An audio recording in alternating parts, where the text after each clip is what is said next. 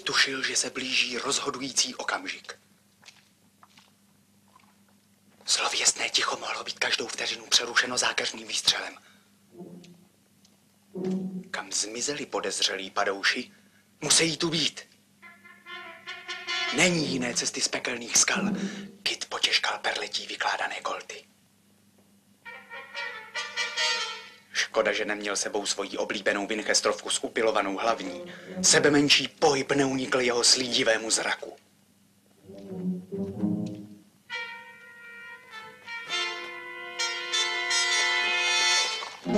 Karamba! Byla to léčka.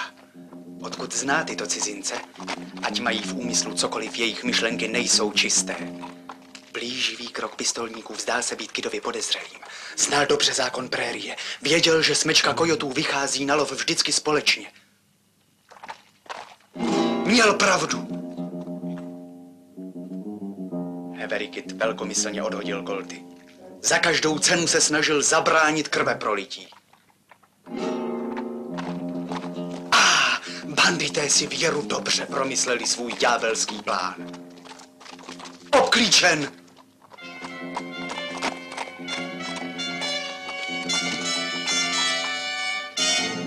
Ostřížím zrakem pronikl maskované tváře banditů.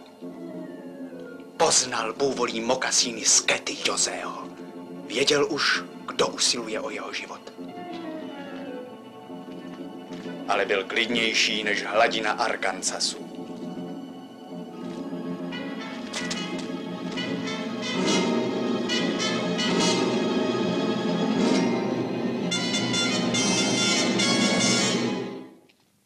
Tak co? Chcete si hrát na kovboje?